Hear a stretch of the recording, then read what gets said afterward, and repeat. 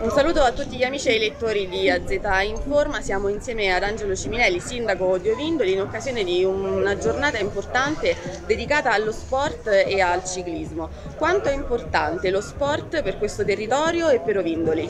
Beh, Ovindoli è sempre stato sport e natura, quindi noi abbiamo da subito sposato in pieno tutto questi tipi di sport e quindi vogliamo soprattutto incentrare oltre ai sport invernali anche sport estivi che si fanno in altri periodi come la bicicletta e abbiamo da subito sposato in pieno la giornata mondiale della bicicletta.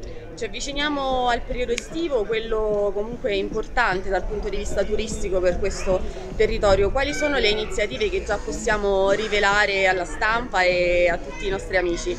Beh, stiamo, abbiamo appena fatto il calendario eventi di giugno, di cui questo è il primo evento, ci saranno dei eventi anche a luglio, ad agosto chiaramente e a settembre, perché la nostra politica è quella di allungare sicuramente la stagione estiva.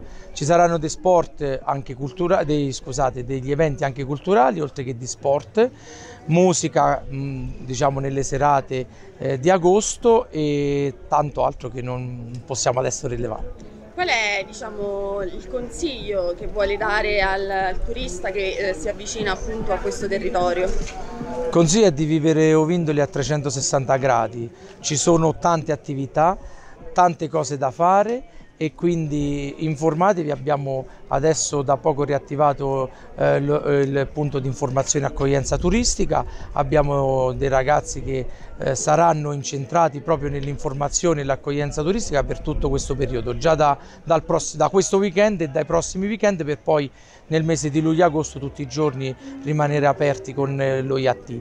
E vi dico che ehm, sono molte le aspettative che, ci, che vi riservano.